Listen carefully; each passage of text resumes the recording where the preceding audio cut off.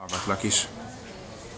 A Még Megnövök akreditált kiváló tehetségpont szervezésével és a kisvakon szaktáborok támogatásával zajlik immár a második alkalommal a hetet hét atár legjobb kis nyelvésze Kárpát-medencei országos nyelvi versenynek a döntője, most itt a Parkhotelben, ahonnan azért üdvözlünk mindenkit szeretettel, mert több mint 30 település, közel 50 iskolájából majdnem 200-an regisztráltak, pontosabban kvalifikálták magukat egy egész esztendőn át tartó levelező megmérettetés következményeként. Úgyhogy nagyon sok kisdiák írja 60 percig azokat a feladatlapokat, amelyeket dr. Kói Balázs bölcsész doktor állított össze a Nyíregyházi Főiskoláról.